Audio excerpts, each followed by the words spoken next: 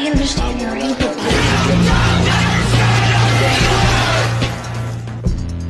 If you did, you wouldn't be killing him so soon.